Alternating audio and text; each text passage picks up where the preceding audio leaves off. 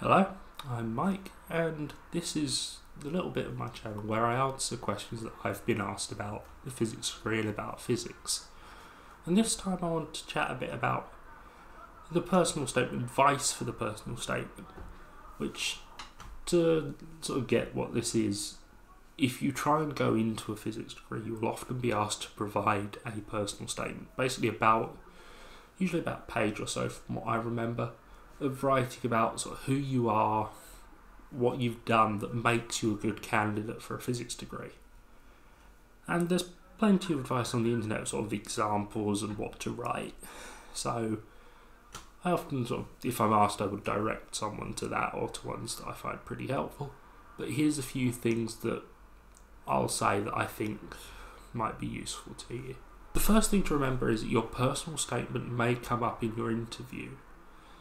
So you for some universities you do a personal statement and you also go there and are interviewed by a member of staff. If that member of staff pulls something up from your personal statement, you don't want to be left floundering for words. So make sure even after you've wrote it that you read it and that you remember most of what you've done.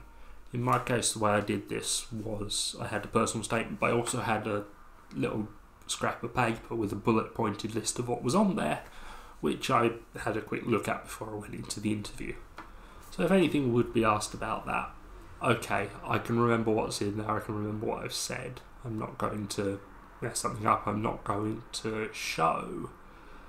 Because what that will do, of course, if you don't get that, is it will show that what you've put on your personal statement as this is why I'm passionate about physics is actually something that you can't really remember yeah, that's not a good look. So remember that. The other advice that I'd give is there's two things about the actual writing. The first is be specific.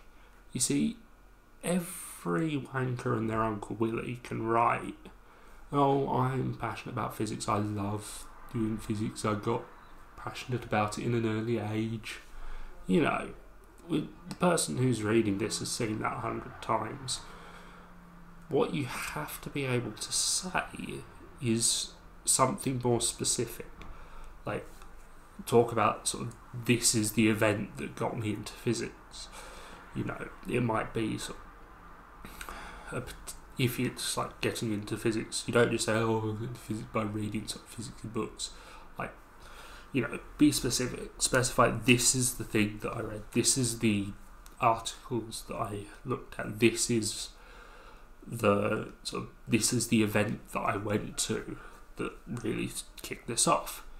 And it's a bit of revision because that's not really how your mind works, but you do have to sort of get down to the specifics of why I want to do this. The other thing about being specific is you will often want to put sort of other things you do. So, in my case, it was scouting. In some other people's case, it might be like they volunteer for local sort of say youth another sort of local youth group or they you you know they have this major hobby or sort of thing that they've done that they think might be worth putting in a personal statement. And the way I would put it is it's fine to do that but try to relate that back to why it fits in with physics and this is true for sort of whatever subject you're doing. Don't just say, "Oh, I did this." Try to relate it to the subject because that's what the person reading the statement cares about. Say your idea was like you've done a bit of tutoring, you taught people. You could mention that one of the things you were teaching them is mathematics, and sort of if you're teaching the foundations of mathematics, you need to have a much firmer grasp of it yourself. Something like that. It doesn't have to be much, but the sort of can you relate this to something that someone looking for a physicist would care about? And that's really the only advice I give. As I say, find examples online as best you can and work through from there is the best thing that I can give.